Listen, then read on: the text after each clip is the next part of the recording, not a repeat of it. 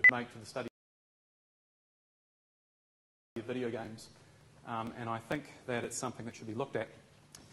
Okay, so a little bit about my history in this, uh, this issue. Um, I'm just starting out as a philosopher of the arts, and it seemed obvious to me that there was a lot to be written in the philosophy of the arts about the video game. Um, so I've written a book. It will be available in November. It's very reasonably, reasonably priced, um, so please buy it. It's got a nice cover. Uh, and it sets out some of the issues that I'm going to discuss here in, in a lot of depth, and I think it provides a pretty pro provocative and different view of video games. So, uh, the definition of video games. So what can philosophy contribute to the understanding of video games? Uh, I, I, guess that everybody here, hopefully, thinks that philosophy does have something distinctive, uh, unique to con contribute to uh, video games. Um, so my answer to this question is... So I think there's a, um, a large body of theory within philosophy uh, that might be used, implemented to talk about various things in video games. Um, a number of different sort of uh, theoretical areas. My own area, philosophy of the arts, I think, has a number of different theories that um, seem apt to discussing uh, facts about video games. So this is because, I guess, video games branch into the areas in which philosophy of the arts has had a traditional concern with things such as definition, representation, ethics, um, emotion, morality, all that sort of stuff. Uh, not just the analytic philosophy, of course. Um, there are other vari um, variations of philosophy that might make a contribution in this regard. So I've read a lot of papers recently um, discussing how phenomenology or Heidegger's ideas might be used to explain what's going on in video games. Um, I'm going to discuss some of this um, later in this uh, presentation. And of course, there's a, um, a, great deal of theory in the book drawn from various areas. Second thing that philosophy can contribute to the, the theory of video games is method. I guess um, philosophers do have a method, even though we might sometimes really wonder what it is. Um, you know, I'm still trying to work that out myself, really, what my method is. Um, it's not a scientific method, of course, but there are a lot of things that we philosophers do, know how to do, practice, and have developed over a, a long period of time that have been useful in discussing various things and uh, making various ideas clear. One of the key methods that philosophers make use of is definition. Uh, analytic philosophers in particular often try to formulate definitions of items to um, provide some clarity or to uh, attempt to understand what's really going on uh, in some particular issue. And I think that this um, analytic method has the potential to add a lot of clarity um, to debates in game studies that are not always known for it. So this is the contentious part of this address. Uh, reading the game studies literature as an analytic philosopher, can at times be a bewildering experience. I get the impression that some words that are used in a way that I've never experienced them or encountered them before. Uh, there are some persisting debates in, in game studies, such as the, the narratology, ludology debate, um, which I'm just not sure you know, what it's really about.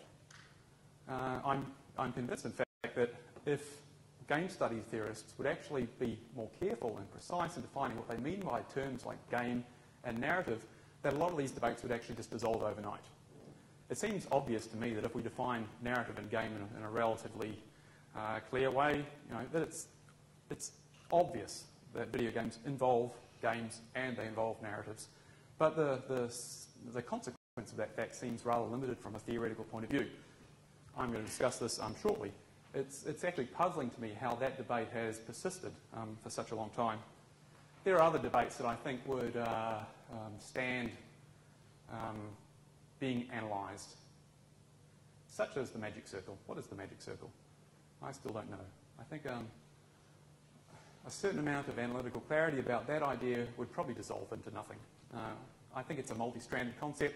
It refers to a lot of things in a very imprecise way, and that we should prefer not to trade in metaphors like that. I think substantive terms are better.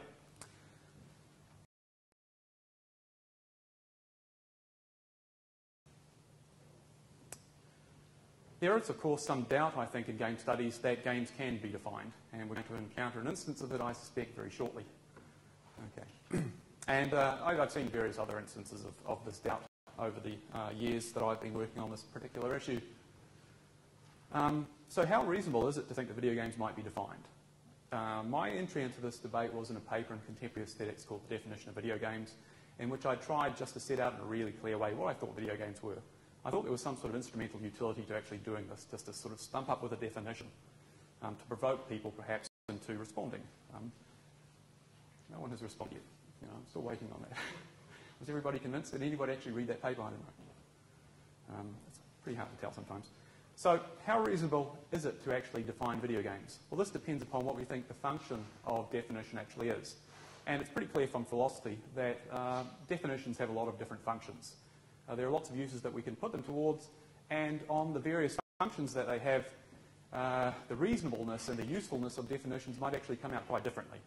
So I'm going to explain um, maybe four theories of definition or four variations of what definition might be. I think on each of these, uh, we might think that, well, they might be reasonable but useless, or incredibly useful, or and um, dubious, or maybe just actually useful, quite reasonable. Uh, so, so there are, are, I think, at least two worries we have, might have with definition, or an actual instance of definition. So we want to define some sort of term, let's say species, or gold, or art, or um, video games. And there seem maybe two kinds of uh, worries we might have with that instance.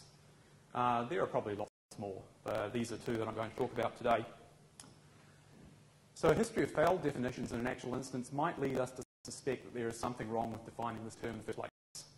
So um, for those of you who aren't familiar with art, it's a very long, um, convoluted debate that's gone on about the definition of art and it's not clear that it's actually reached any sort of measure of consensus. It's been going on for a very, very long time, and people just don't agree.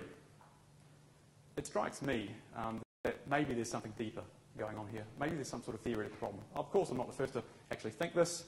Uh, some of the, the, the, theoretical doubts about video game, uh, sorry, the definition of art go back to the 1950s. But maybe um, for an actual instance of a definition, um, if there is this long history of failed definition, definition of that item is wrong for some reason. Of course, this isn't a very logically convincing argument, is it? Um, it might be psychologically convincing because uh, just because the fact that a definition hasn't been found doesn't mean one might not be found. The second type of reason we might have uh, to doubt the reasonableness of a definitional instance is um, theoretical reason. So we might have some sort of substantive uh, issue with the domain that's trying to be defined or the item that's trying to be defined that leads us to suspect that maybe we can't define this type of thing. It's not the type of thing that can actually be defined. So these are likely to be uh, logically stronger arguments. And there are a number of these um, um, arguments provided again in the definition of art debate. So I'm going to talk about um, two other types of definitional debate here that we might um, reflect on uh, to you know, draw some lessons for the definition of video games. First is the definition of art debate, and I'm also going to talk about definitions of biological kinds, such as species.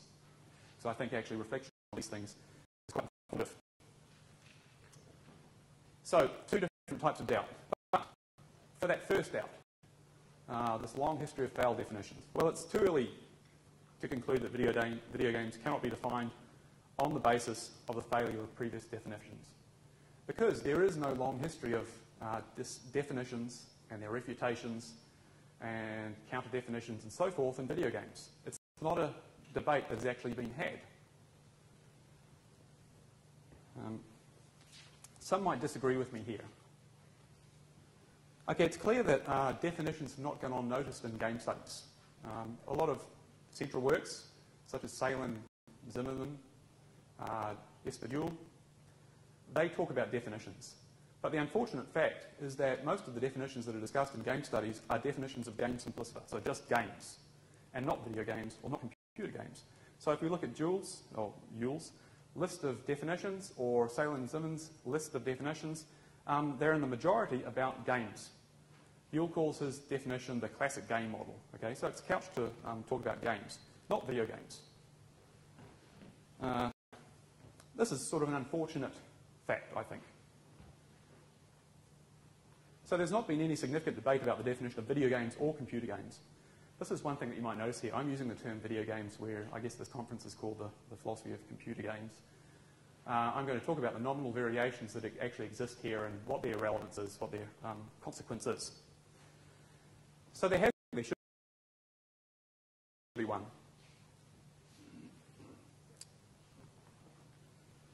So the theoretical reasonableness or usefulness of definitions of video games depends on what we think of the nature and role of definition. So here I'm going to discuss uh, a number of kinds of definition, as I said, and, and talk about their reasonableness and usefulness. I'm actually going to discuss their reasonableness more. Uh, I'll just say a few things about the usefulness of definitions. What can definitions actually provide us with? Well, they, they're a practical use. Um, they're a practical use personally because they force you, they confront you um, with the need to actually specify what you believe in a, in a really straightforward uh, way. So they're, they're also risky. Um, they give your theory the potential of being false. Okay, they, they stick up. You know, here's here's what would it, it would take to falsify me. Find a counterexample of this. I think that's a useful way to proceed. Um, they're also good for structuring arguments and structuring theories. So I think the, the role that definition really played in my own book was it provided me with a way of access into material. So I defined video games, which I'm going to talk about, my own definition, and this allowed me to sort of push into video games um, by looking at the actual individual conditions and seeing how they combine in video games. So I think definition is actually something that's very useful to want to do. So here's the first conception of what a definition might be. So nominal definition. Uh, the definition of terms as they're used in everyday discussion or technical discussion. So um, the sorts of definitions you might find in a dictionary or the sorts of definitions that my first year students will say, you know, will bring up in the first sentence of their essay and, you know, annoy me with. So nominal definitions um, are entirely eminently reasonable, aren't they? Uh, because um, if we're competent speakers of the language, we've probably got a pretty good idea about the nominal uh, content, the nominal nature of a definition. So they're eminently reasonable, um, but they're also sort of trivial uh, in terms of explanation. Uh, they're not much use. They're important, though, to consider because, as I know, there's a great deal of variation about how video games are referred to. There are a number of different terms, and they're not always synonymous. There's computer game, video game, electronic game, interactive entertainment, digital entertainment. You've probably encountered loads more than this. So what sorts of relations do these actually stand in? Are we talking about the same thing, or are there a number of overlapping extensions, or are we just really confused? Um, why do these terms vary? Why am I using the term video game rather than computer game? Well, I think that's just because it's the term that is used where I come from most often. Uh, computer games are used, of course, but I think they refer more to PC games. Um, video game is the generic term that dominates usage in New Zealand and also, I think, America. I think that's fair to say. So um, these nominal variations are important to consider, um, but I'm not sure that they're really substantive enough to drive our theory in the way that I think definitions are, should be useful for. So here's a second conception of what definition might be um, essentialist definition, so sort of a classic Aristotelian sense almost, um, of definition comprised of necessary and sufficient conditions um, that explicate the essence of a, a, defined term. So there's a long history of attempting to provide these definitions in philosophy, and I guess um, this is, might be the first port of call for philosophers when they want to define a term. And this has been traditionally what um, philosophers of the arts have been after when they've been attempting to define art um, a list of conditions that are individually necessary and jointly sufficient to make something art. So the problem with that debate, of course, is that it's been extraordinarily hard to find this list of conditions that is necessary for art and also sufficient for art. Lots of different things have been um, proposed, such as aesthetic features, uh, representation, emotional expression, um, historical factors, you know, all sorts of things. Essentialist definition, um, you know, it works in a number of domains, I think. Uh, it's going to work anywhere, it's probably going to work in um, analytic terms, like bachelor, or um, some natural science terms like gold, where it does seem possible to explicate, you know, the actual essence of, of the term, such as an atomic weight in that case. I think, though, that essentialist definitions in the case of video games are likely to be problematic. Uh, there are reasons to think that they're not actually going to be successful. And I think that this is a lot of the um, lot of the explanation for why the about the ability to define um, video games or computer games. So I think uh, video games is contentious. And there are reasons to be suspicious of essentialism, necessary and sufficient condition definition, uh, in the case of video games. What I want to do here is, is, not really to argue that you can't come up with an essentialist definition of video games. In fact, later on I'm going to propose one. Uh, what I want to do is I just want to cover all the, um, the sorts of doubts we might have with this mode of definition. Um, because I'm going to claim that even if this is the case, and even if these definitions aren't available to us for some theoretical reason, this is no reason to forego the definitional process, because there are other functions that definition can take. So here's the first reason. I think that we might suspect essentialism in the case of video games, and that's because they're technologically and culturally contingent to an extraordinary degree. Um, I guess the, the impression is that if, we, if we're looking for an essentialist definition of something, um, the likely candidates are going to be those things for which there really are enduring essences, such as gold. Gold doesn't change, does it? Um, so in, in the case of video games, I think the fact that they are technology contingent and this technology is continually changing. Uh, it's developing rapidly. Things that are possible now weren't even envisaged when the, the technology first came about. And also culturally contingent, so any particular video game depends upon a genre history, video games previously, and these things develop in um, unpredictable ways. Okay, because of all the contingency, it's not clear um, necessarily that we will find a set of conditions that all only games share, apart from some very basic ones that are also shared by related things uh, such as their media and their entertainment function. I'll discuss that shortly. So there's one reason to, to be suspicious essentialist definition. The second reason, related, is that the vernacular concept might be unprincipled. It might simply be the case that uh, this term that we have, video game or computer game, is something that was formed accidentally. Um, it's just got a history of usage. It's expanded in non-principled ways to discuss this portion of things and there hasn't been any real reflection about the usage of this term. Um, there hasn't been the sort of reflection, for instance, that as there has been in natural science, where obviously there's a lot of reflection on picking out natural kinds and so forth. Um, video game as a essential. by the nominal variations that I mentioned previously, it's obvious that there are nominal variations, and they, there are variations because of things like geography or whatever, okay? Things that don't really seem theoretically pertinent. And finally, um, it's not clear that there actually is agreement on the category's extension. It's not clear that we agree what things sit within the class of video games. Uh, there are, you know, contentious cases. Um, is Second Life a video game? Um, some, I've, you know, I've heard people um, say it is. I've heard people disagree that it is. Uh, what about Tori-Emaki, which is a um, uh, downloadable game for the PlayStation um, 3? You get it from the PS Network, and it involves sort of Japanese style artworks that, uh, in conjunction with the EyeToy, you can sort of manipulate in, in sort of fancy graphical ways.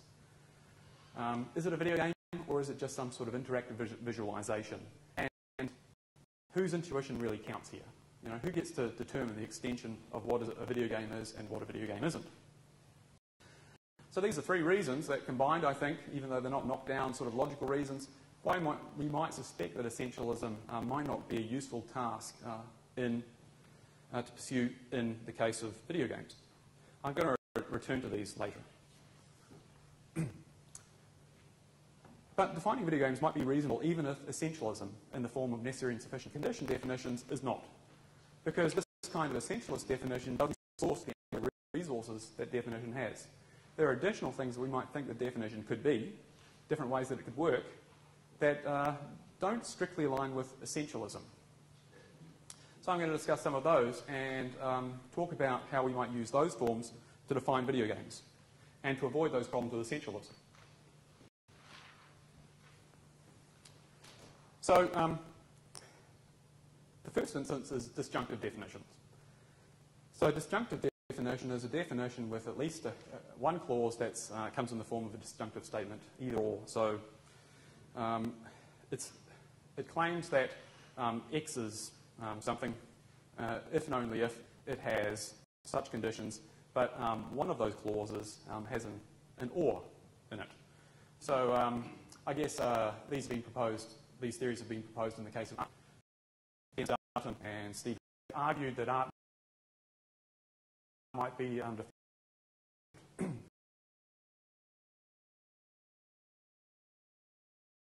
them, and there are different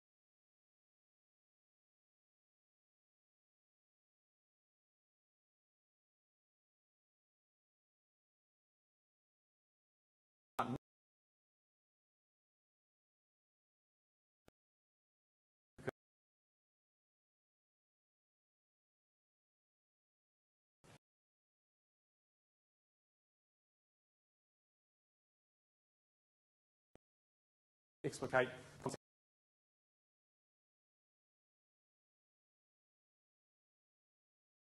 conjunctively essential definitions. Okay, they just turn on a, a minor point of logic. logic. And they're actually um, good to have around, I think, uh, and they're motivated in a number of cases. Um, they might be motivated in the case of art. Maybe uh, there just is uh, more than one way for something to be an artwork. And correspondingly, maybe there just is more than one way for something to be a video game. Disjunctive definitions, I think, are, are useful for capturing non-monolithic categories because they are less like or extensional.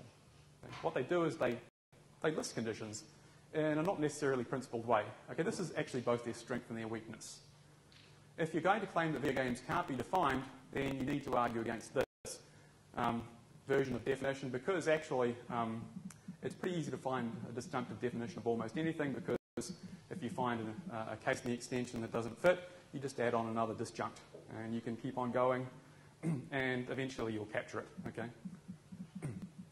Uh, of course, if we do that, uh, then we might think that we're just unprincipably expanding um, the list of conditions to suit future cases, and, and obviously that's uh, become a sort of a trivial post hoc way of defining something. But if you claim that video games can't be defined, you know, uh, that seems to be a problematic issue. but um, I think these cases are useful because there are some categories which we suspect are non-monolithic. They don't all make a, a unity, uh, but they're useful to have around nevertheless. So an example might come from emotion theory. Um, there's a philosopher of the, uh, of the philosopher of science, Paul Griffiths, and he argues that emotions don't form a natural kind, but in fact they, they uh, constitute at least three different things. Uh, there are affect programs, um, higher cognitive emotions, and uh, these sorts of culturally conditioned behaviours. Um, these things aren't all the same kind, but they have this sort of similarity which has led to us terming them to be emotions. Um, he argues that uh, they're not natural kind and we should, in fact, um, separate them out into different categories. But uh, a lot of emotion theorists, some emotion theorists, have responded to this by saying that, well, um, it's unlikely that you're going to get rid of this concept of the emotion because it's so central to how we explain other people's behaviour. So, for example, um, uh, Damasio, Antonio Damasio, claims that, well, even if it is the case that the emotions are diverse in kind, they don't actually form a, a natural kind, a single thing, uh, we should prefer to have this term emotion around just because of the central role it plays in explaining behaviour. So if we want to define emotion, maybe we, we do have to use this dis disjunctive uh, way of defining emotion. Maybe that's the case in video games as well. Uh, maybe it is the case that video games don't form a, um, a single category that we can unite in a principled way by an essentialist definition to want to define that non-monolithic category.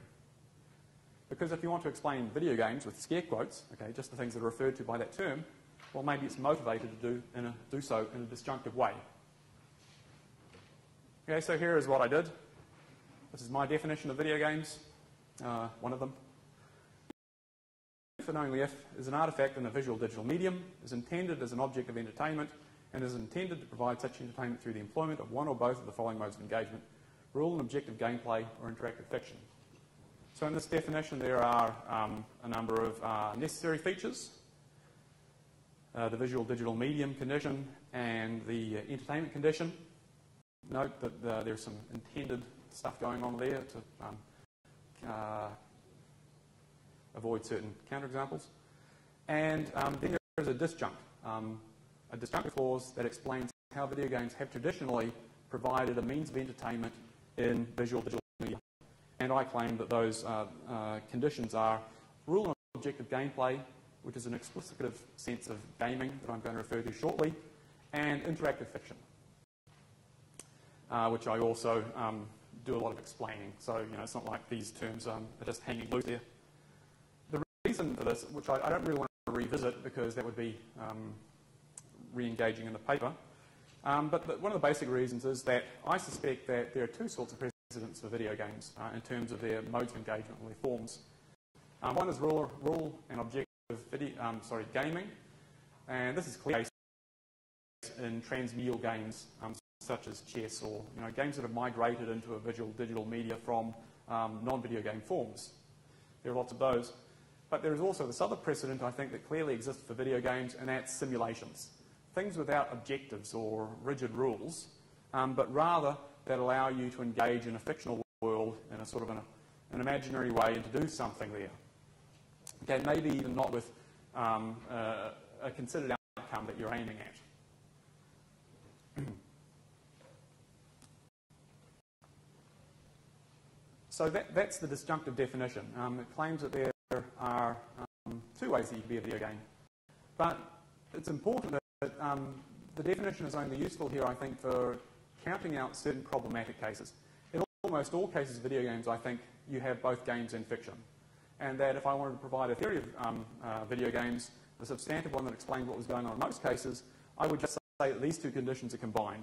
So in um, you know, uh, seminal cases of video games like Grand Theft Auto or Microsoft Flight Simulator, or maybe not, or um, you know, just pick a game, Fallout 3. you have both games, sort of rule and objective gameplay, uh, where you want to get some end, a defined end that's uh, uh, you don't create, and also you have the simulated reality or this fictional world that you're involved in.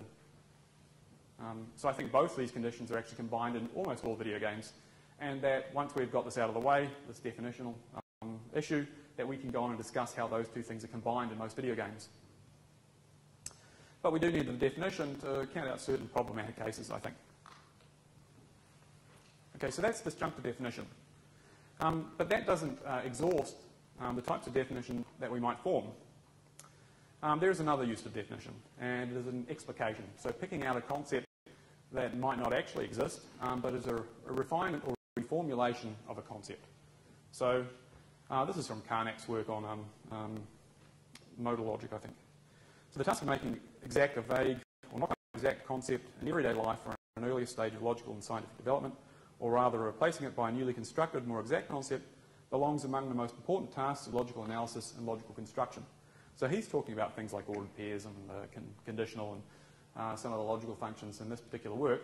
But I think that his ideas actually transfer quite nicely into the domain that we're looking at. So it's an early day, it's early days in the study of video games and computer games.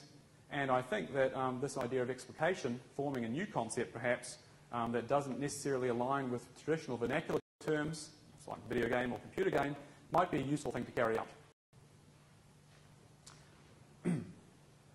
um, and this is quite a substantively different conception of how definition might function, because it also, like disjunctive definitions, seems to avoid or is um, useful in avoiding some of the problems of dog essentialist definitions, um, particularly the one about the agreement on an extension. Okay? So I'm going to argue that explicative definitions actually um, don't have that problem because they're, uh, you know, formulating them actually involves setting out an extension. There's a spelling mistake. Explicative definitions may revise the intentions and extensions of concepts of categories to capture an explanatorily useful term. So disjunctive definitions differ to essentialist ones by claiming that, well, maybe the form of the definition um, can be uh, sort of fool around with. We don't have to have necessary conditions, we can have sort of optional conditions. Um, explicative definition differs to essentialist definition by claiming that, well, maybe it's uh, the difference, the problem with essentialist terms is the terms that we're actually trying to define in the first place. And maybe the vernacular terms that we have that we've discovered through nominal usage just aren't the ones that we should be aiming at. And of course, explicative definition plays an important role in, the sciences and all sorts of um, uh, areas of knowledge. And here's an immediate use for explication here. So an example that we might have of um, a concept that should be explicated uh, in a useful way is the term game.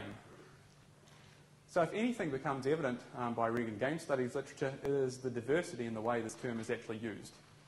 Um, so if you go back to Huizinga and read that book, the thing that really impressed me about that book was how absolutely ubiquitous gaming and play actually is.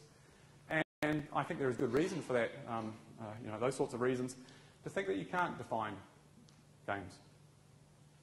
At least you can't define um, game as it is used in a vernacular sense, or as it might be used. So play and gaming seem so ubiquitous, they don't think, seem like a theoretically motivated grouping. Also, um, play, uh, associated to gaming, seems to be an attitude that we might take to any number of different artifacts. So you might play with your mashed potatoes, or you might play with um, annoying narratologists, or you might play in all sorts of different senses. And it's not clear that um, you can actually define that attitude because it might attend um, to any number of different things. But this doesn't mean that we can't then go on and define games because we can do so in an explicative way. We can pick out um, an actual uh, um, extension uh, by actually formulating the definition.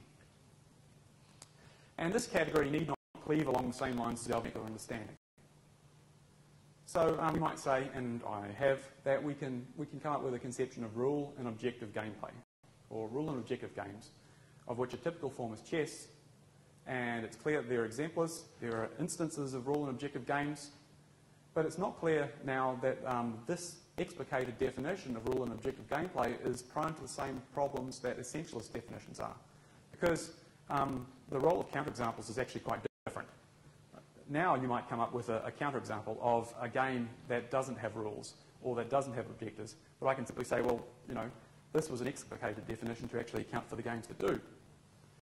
Um, and now this, this, this definition of games can actually be used to reflect on those non-standard cases. If you define an extension, of course, you define its complement, and now you can have a, a good idea perhaps about what's going on and, and the ways that um, some games depart from this uh, explicated category.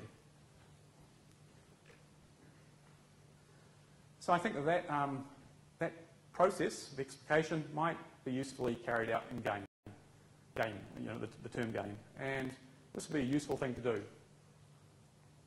I also think that um, video games might actually be given an explication, um, an explicative definition that avoids some of the problems that essentialism has about video games, or actually provides another option, um, puts another option of a, of a, definition on the table uh, that might be of theoretical use. So what, do we, what really um, justifies an explicative definition? Well, it seems to be the sort of pragmatic explanatory use that that defined category has in some project that we have.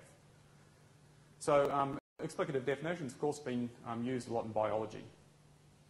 Uh, we might want to explicate the sense of uh, species in some sort of interesting term.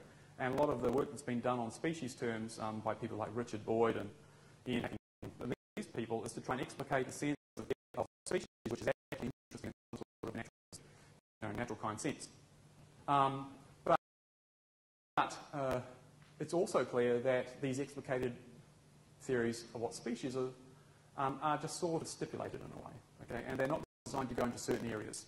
So if we take them too seriously and we try, you know, um, we try to be essentialist about these stipulated definitions of species, then we're going to come up to all sorts of um, bizarre conditions in which um, uh, we have to conclude that an Australopithecus at some stage had given rise to a, Homo, you know, those sorts of problems. Um, in biology, uh, species is not a sort of concept that um, along temporal lines and those sorts of ways. It's not designed Okay, but it's um, useful because it allows us to see certain things. So I think that um, video games might be given such a definition, but to see this, uh, I need to quickly revisit my disjunctive definition.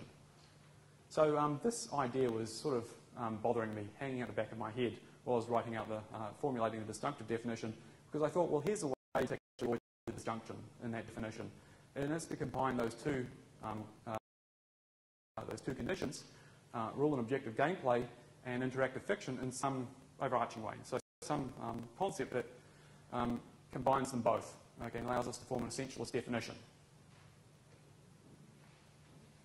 So I'm going to raise the possibility um, that the disjunctive clause in my definition can be united by employing Dominic Lopes's um, notion of strong interaction. So Lopes has this idea uh, about computer art that some art is interactive in a way that previous art isn't because it, it um, employs the, um, the um, robust contingent nature of um, how computers work. And uh, it allows interpreters or interactors to actually have an effect on the item that is rendered. Okay, so the, he, he's talking about things like virtual instruments or perhaps hypertexts. So um, it, it, might be the case actually that this notion of strong interaction, which I'm going to discuss here, uh, allows us to explain what it is that rule and objective gameplay and interactive fiction actually share and unite those two um, ideas into a single condition that we can now base uh, an essentialist definition of video games on. So here's a quote from his, his paper. The paper is called The Ontology of Interactive Art. So games are strongly interactive because their users' inputs help determine the subsequent state of play, whereas in weakly interactive media, the user's input determines which structure is accessed or the sequence in which it is accessed, In strongly interactive media, we may say that the structure itself is shaped in part by the interactive's choices. Thus, strongly interactive works are those who, whose structural properties are partly determined by the interactor's actions. And this distinction between weak and strong interaction is meant to distinguish between um, artworks in which you might just jumble up the order of the artwork. So putting a CD player, a CD in the player, and then just pushing uh, random. Okay, you, you jumble up a Mahler symphony or something like that. Okay, that's obviously not a case of strong interaction because you're just experiencing the parts of that symphony in a different order. Uh, but some computer art actually allows you to have a, an impact on the, the, state that is rendered. Um, and I think this applies to video games.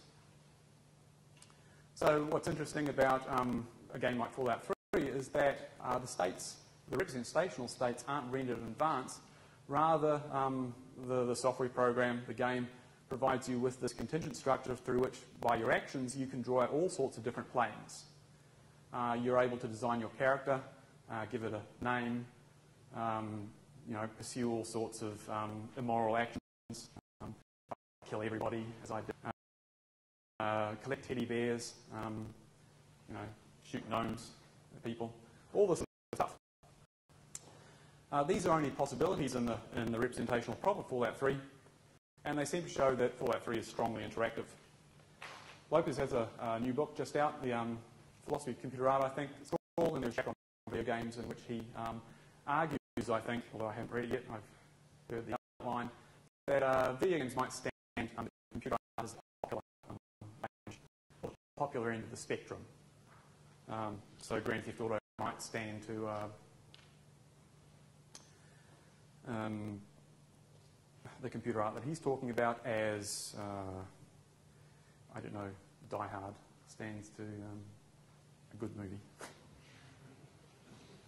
okay, so games and interactive fiction may be both cases of strong interaction, which may leave us with a necessary and sufficient condition definition. So we can now formulate the definition thusly.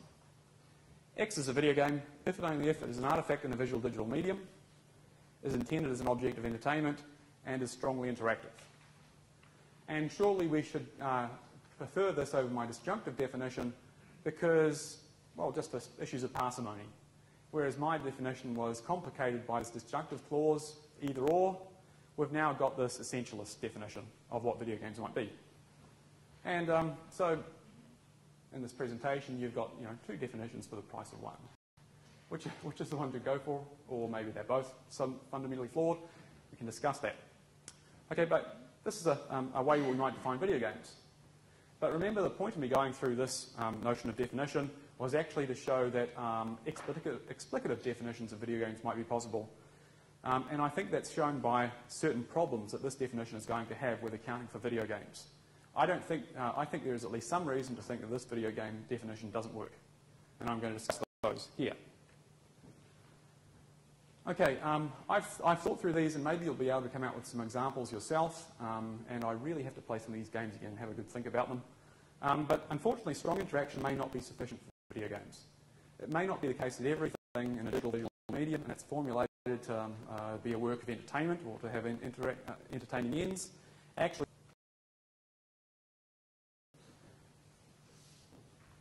So examples of these would be the sorts of applications you find on the Nintendo DSi. Uh, um, so the DSi is a uh, little handheld that allows you to manipulate um, real-time video, uh, music, and so forth, and strongly in, ways that seem strongly interactive. So what you're doing is you you, um, you can manipulate pictures of people to give them big, stupid smiles or whatever. Okay, here you're actually um, having an impact on what is rendered, but it doesn't seem like these things are video games, are they? They seem like applications. Um, at least if we're agreed about extension. Okay, that problem's going to um, become obvious here again because, well, maybe they are. But um, I think there is at least uh, some reason to think these aren't video games.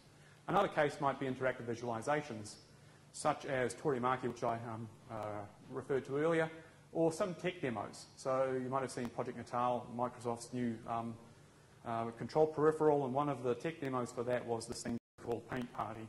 And one, the demo for that was these people painting an elephant. Okay? Is that a game, or is it just a, uh, an application that allows you to you know, fool around and have fun? it's not clear to me that they genuinely are games, and maybe there's something really different about those things and fully fledged games.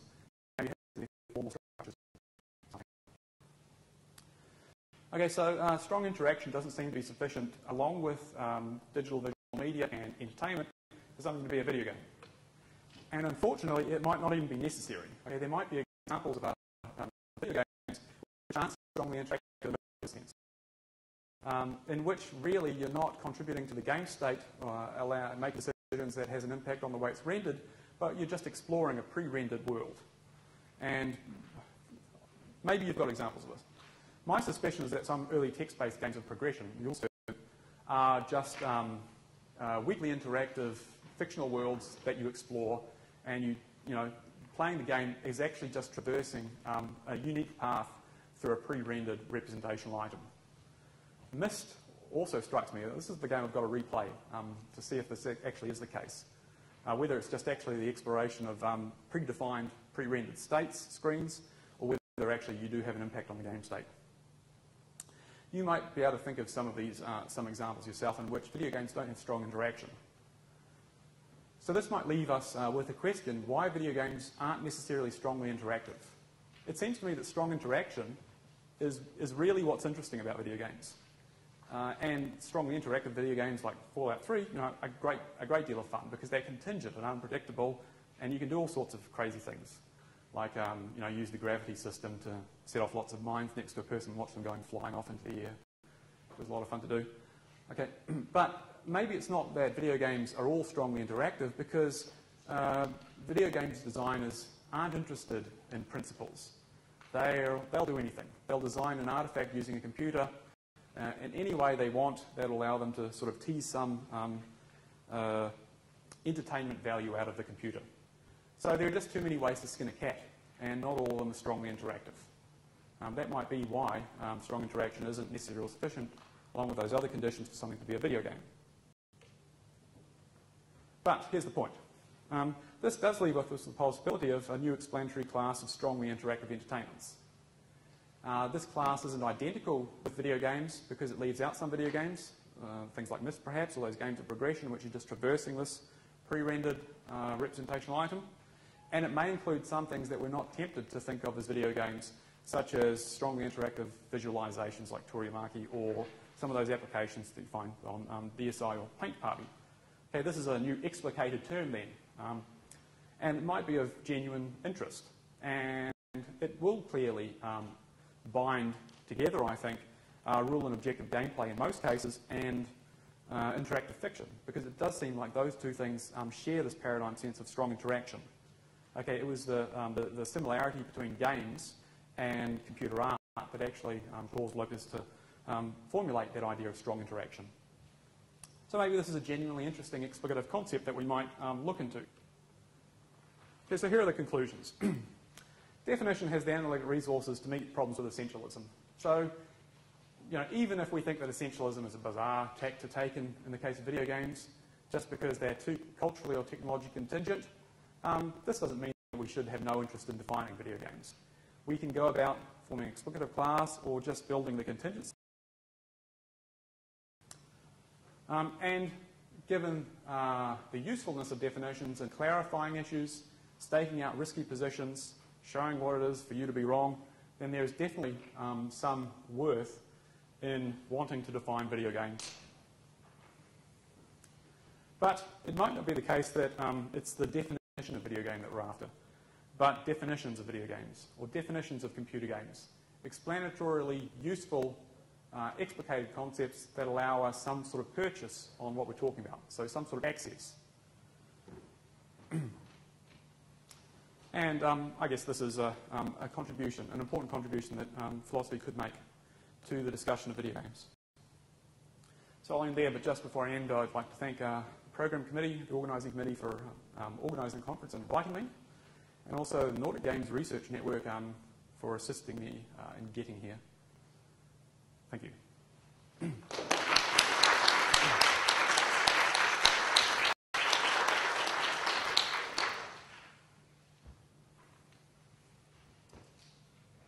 Thank you very much. Now there will be time for questions and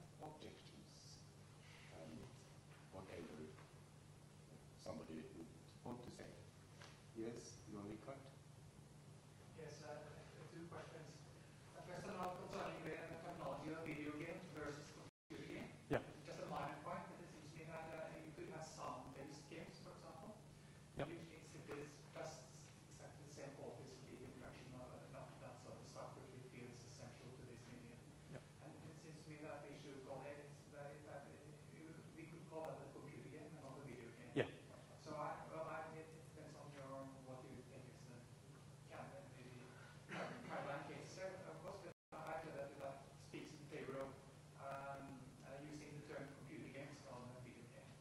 Well, yeah, I understand those cases, um, and I, but you know, um, of course, that's a reason why we might prefer using computer games if we want to talk about those cases of um, musical games or whatever.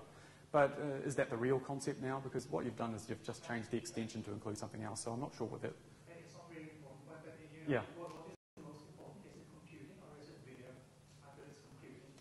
Yeah, well, uh, my own interest here is in video games. I'm. Yeah, I'm, I'm, I'm not into game studies. I'm not a game studies scholar. And actually, I've got a sort of a very narrow interest in video games, and it's into those sort of artful, represent, representationally robust games that actually sort of fit within philosophy of the arts.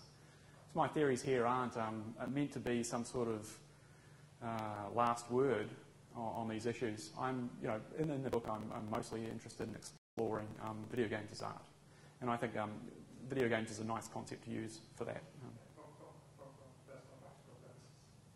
That's okay, right. That, that is not very important. Uh, and another thing is the a very interesting discussion of deep interactivity.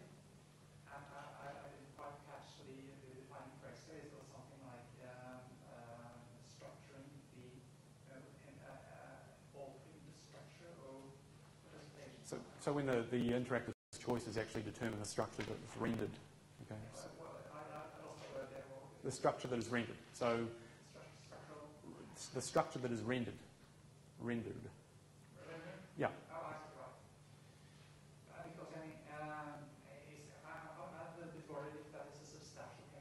Yeah, but I should add that you've also got to determine what the structure is. So in the case of um, an interactive artwork, it'll be the aesthetic properties that the, um, the structure has. Or in a, um, a computer game, it'll be whatever we think the important structures are there. Yeah. Yeah, because anything has a structure, right? Yeah, So, yeah. so there's a nothing and this is. Yeah. This is yeah, this that needs more explanation in that um, case, and I've yeah, I've, I've got that. Yeah. Yes. Yeah. Um, first of all, I find it very helpful, very necessary to, to clearly think about well, what kind of definition should we choose, like against proximate differences, specific uh, family resemblance, or cluster account. But I think the sort of thing that um, I, don't know, I was liking is what kind of what ontological level are you are you um, aiming at? Are you really are you talking about well, this is how definitions or concepts of video games work in cognition, or are you talking about um, discourse or the history of discourse? This is how people in ordinary language used to talk or think about video games, or all the kinds of definitions that you're talking about, um, sort of actual, is, is that actually an ontological statement? This is a category of entities that is out there, uh, independent of the way that we think about them, or independent. Yes, I'm, I'm assuming that video games are real things in the world, and that um, you know when we're trying to define them, we're coming up with some sort of uh, way of classifying, categorizing them that makes some sort of sense, you know, and is principled and is uh, useful in an explanatory way. Okay. Yeah. Um, if that answers your question. Yes. Okay, Grant, I have a question actually. There's something in the written, uh, written draft. You mentioned Fallout 3.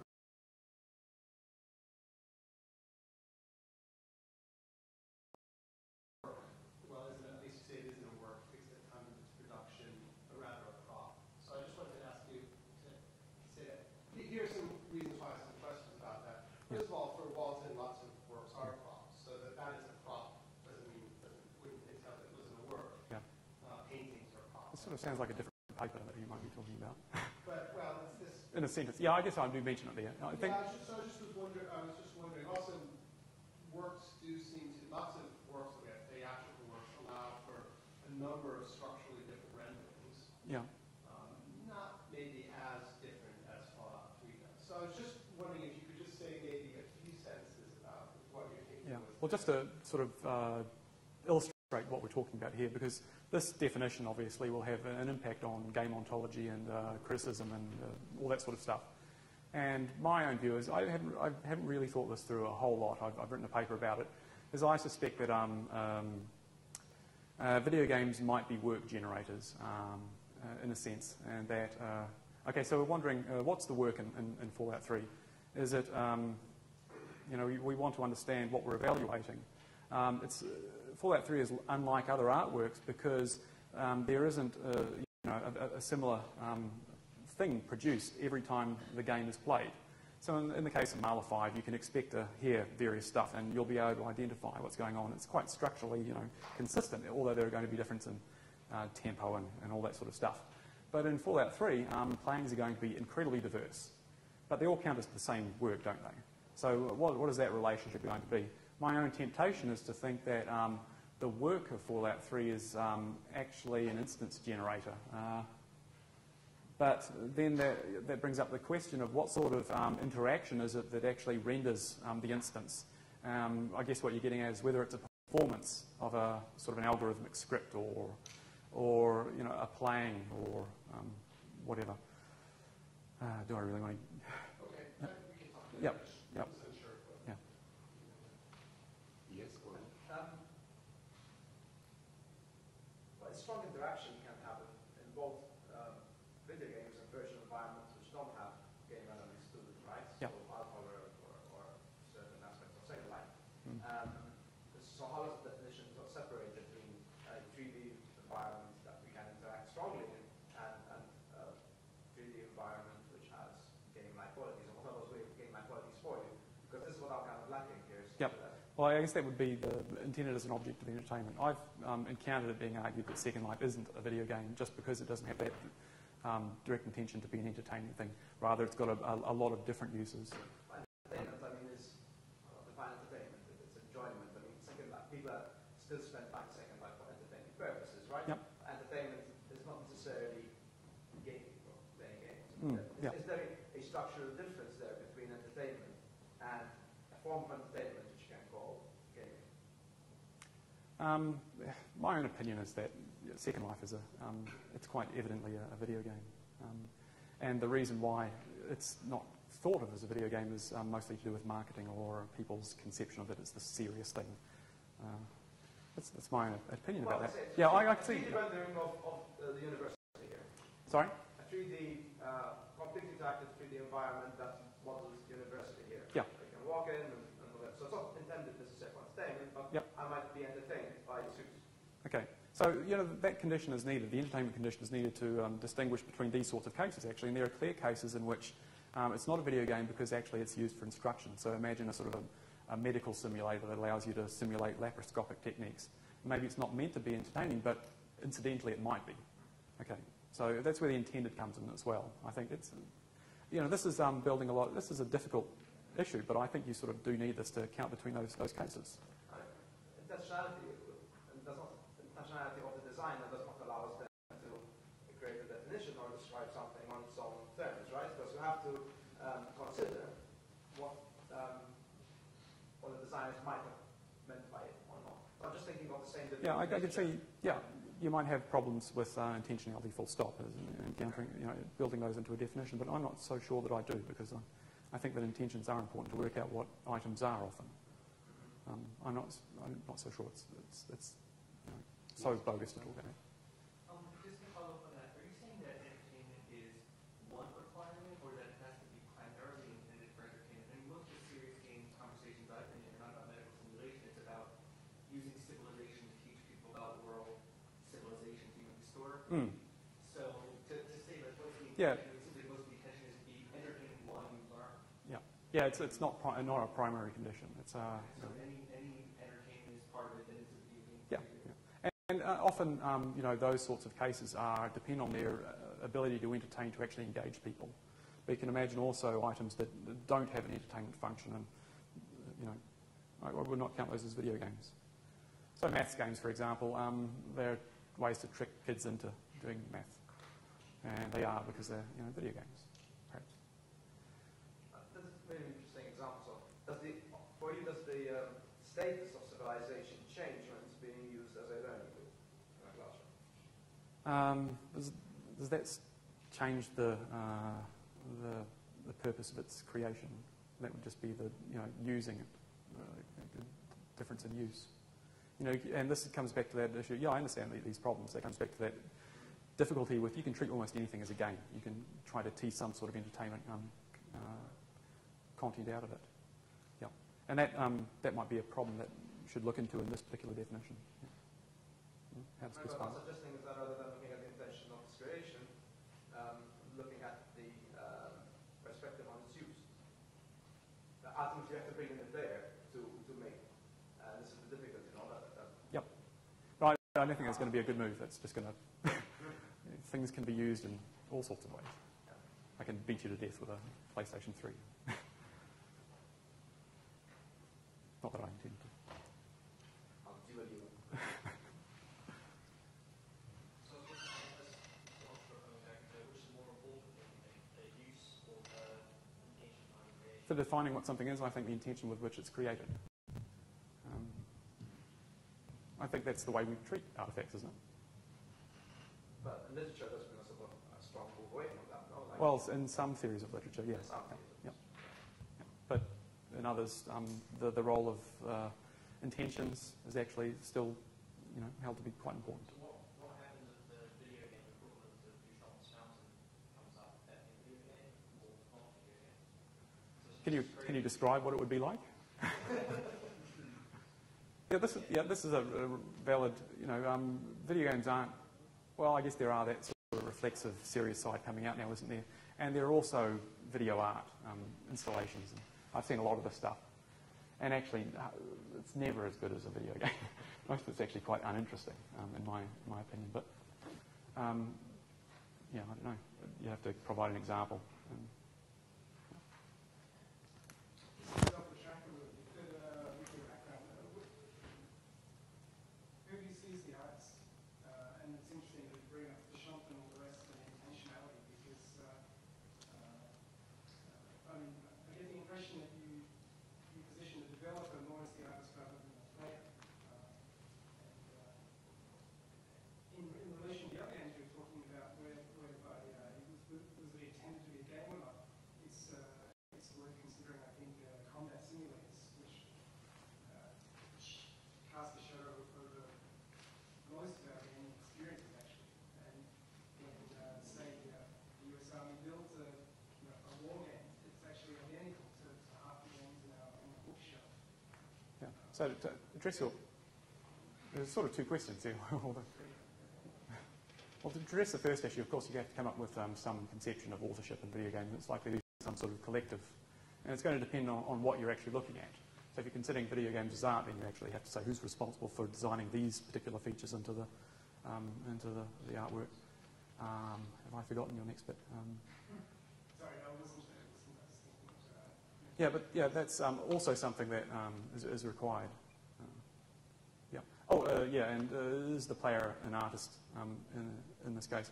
Well, uh, that again touches back on this idea of performance. Um, is it the case that we actually do aesthetically um, judge what players are doing when they're playing video games? And I don't think we do, do we? We don't talk about elegant playings of Fallout 3 or, you know, it's, it's not clear to me that um, we actually do that. Um, although you know, we can uh, come up with normative judgments about some aspects of games, such as in competitive gameplay. So we can think that this guy's really good and you know, he's, um, he's quite skillfully dispatching his enemies, but I'm not sure we actually think about um, in aesthetic terms. Um, in, in terms of the player, although we might say, you know, I got into the situation, it was just this amazing sort of um, uh, sequence of events. Yeah. What about screenshots? Uh, I mean, a lot of people like setting up nice screenshots of nice vistas in, uh, say, Amox, for example, and then post them up. Yeah, and share yeah. them. I mean, that is, that has a quite a strong aesthetic kind of Yeah, uh, yeah. use there. Yeah, and that, that might be one reason to think that um, uh, video games are sort of performance art. Is a lot of them do actually sort of engage you in an aesthetic way, like Oblivion. Um, it's got places you can climb into the mountains just for the purpose of actually getting a nice view. You know, just wander up there and have a look around. Yeah. Well, now there will be a 10-minute break, and we'll be back here at 10:40.